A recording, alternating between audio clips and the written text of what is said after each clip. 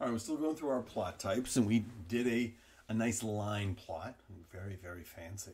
Very fancy. All right, now next we want to go and let's do a scatter plot. Give me some more space here. All right, so this next one, and I already have, I'm not going to re-import these. I've already done this once before, so this is just kind of a continuation. So let's do a scatter plot. Right? So this scatter plot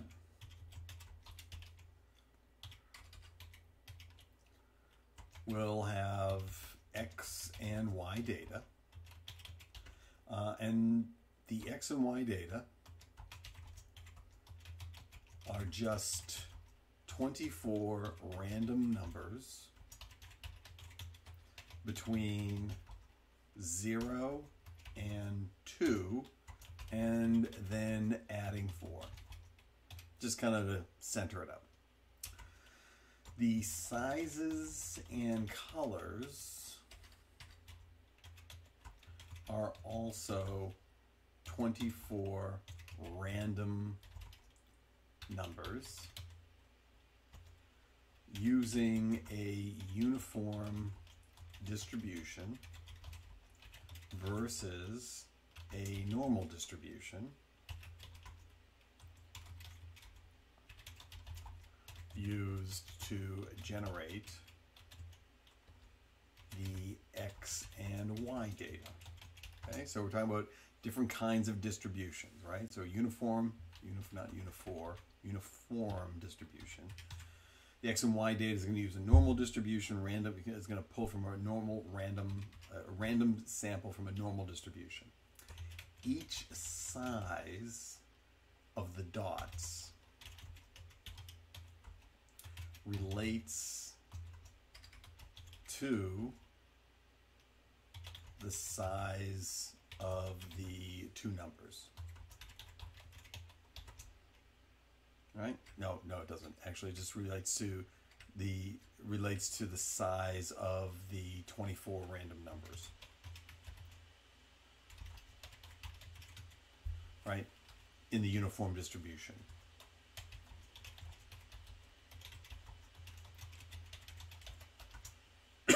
All right. If you wanted bigger sizes or different colors, you change the range or you change the size.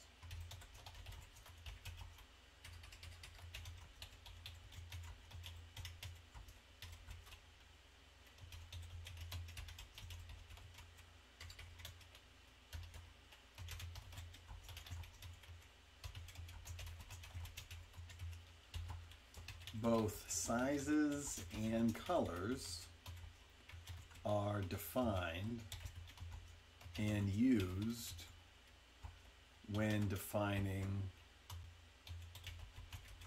the variables S and C in the scatter command. All right, you'll see this. The V min and V max assign the maximum and minimum colors that can be used in the plot. All right? This is just kind of giving you the description of what you're about to see here. Len or lenx for y. Um, sizes I think I'm missing a sizes oops.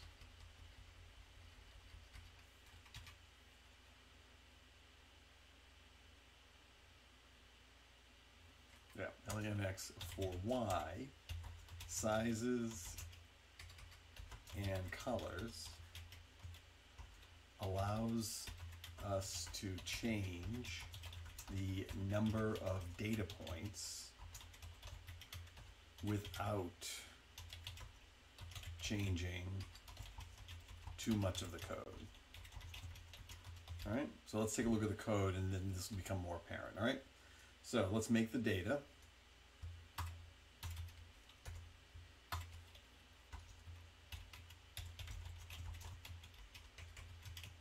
All right, so here's our data. We want to, we're going to start with a random seed, and I'm going to suggest that we're going to use the same random seed. Um, that way it'll be reproducible. You know, you always start, it's not, random is not really random if you always start with the same seed. So we'll start with random seed of three. We're going to have x equals 4 plus np dot random dot normal. And I want to go from 0 to 2 and I want 24 numbers. Right? Y is going to equal 4 plus np random dot normal and I want this also go to 0 to 2 and len of x means that I can go in here if I change x to be 40 I don't also have to go in here and change y to also be 40 all right so len of x is the length of x how many items are in x. That's what len x means Okay, so that's the data. Now let's create the size of the dots and the colors of the dots.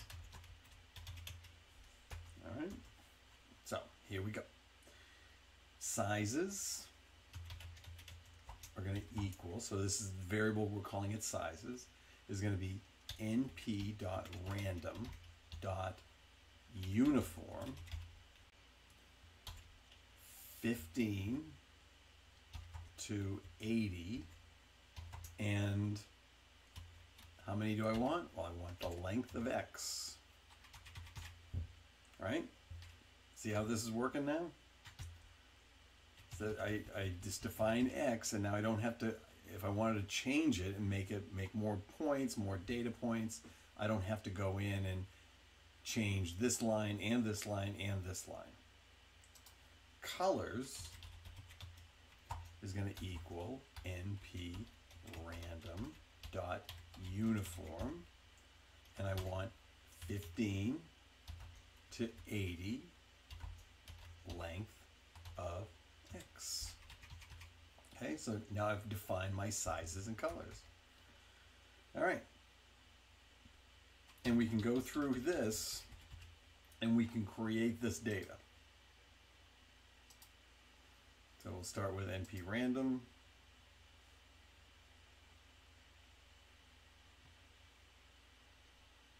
Oh, sorry, I forgot something. It's not np random, it's np random seed. There we go. Now, there we go. And I can come up with my x. There's my x variables, and then I can come up with my y variables. And I can also create my sizes. There's my size variable and my color variable.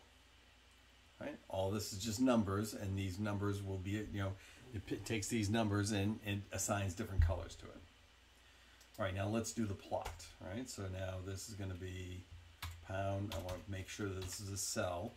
And what we're doing here is we are making the scatter plot. All right, so fig ax is equal to plt dot subplots. Okay. Next, we want ax dot scatter. Right. Before, when we were doing the line, it was ax dot plot. Now we're doing ax dot scatter. So this is a different plot function. We want x, we want y, we want s, that's sizes to equal variable sizes, right? Over here, here's our sizes. We want c to equal the variable colors, right? So I've already assigned this right? So I can go up here and make changes to this and then run the plot again and see something different. I want V min to equal 15, right? Remember V min is the maximum and minimum colors that can be used. And I want V max to equal 75, all right? I also want to set my limit, so AX set. I want my X lim to equal that 0 to 8. And I want my tick marks, my X ticks, to equal np dot arange. Remember we did this we did this up top. We've also seen a range before when we were looking at numpy. And I want my y limit to equal 0 to 8 and my y ticks to also equal np dot arange from 1 to 8. Great. All right. So I think that's everything except one last line. We need to plt dot show. Excellent. All right, so let's make our data. Just run in this cell again. Our data is remade. And now let's run this cell and create the plot. So we've already got the line plot in there from before. Let's run this cell and see a scatter plot. And there's our scatter plot. Now, I said play with this, right? Make, do some stuff. Change this from 24 to 124, okay? Redo your data, and then redo your plot. Okay? We'll go back to 24. Or we'll stay with the 124. That's fine. I'll keep I'll keep the same data. Change your color max. Maybe I want to go up to 150. Let's now run that. Run that. Run this cell and see what happens. Okay, it starts getting a little dark up there.